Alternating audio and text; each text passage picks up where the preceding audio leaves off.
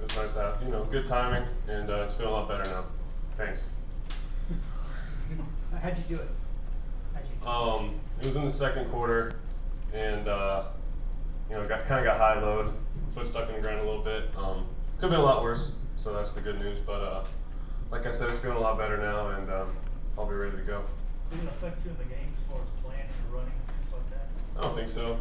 Um, you know, a lot of adrenaline going during a game. You know, I felt it, but not as much as I did after the game. So I don't, I don't really think it affected me at all. Jeff, what was it this past week in practice and then the week upcoming? What was, what was the emphasis on offensively and, and how well, do you- how, how good a week practice do you guys had in that regard? Yeah, kind of just taking care of ourselves. Um, no one's really been able to stop us when we haven't had a turnover or a penalty. So just worrying about us first, and then taking care of the other team second. If we can handle us, we'll be fine, and that's really what we uh, worked on this week. And on a bye week, you really do work on yourself before you get into the opponent. So that uh, timed out well for us. Hey, What, what knee was it, by the way? Just out of curiosity. That was my left knee. You think? I didn't say I think. I said it was my left knee. Oh, I think so. I think it's my No. Jeff, how, how do you go about eliminating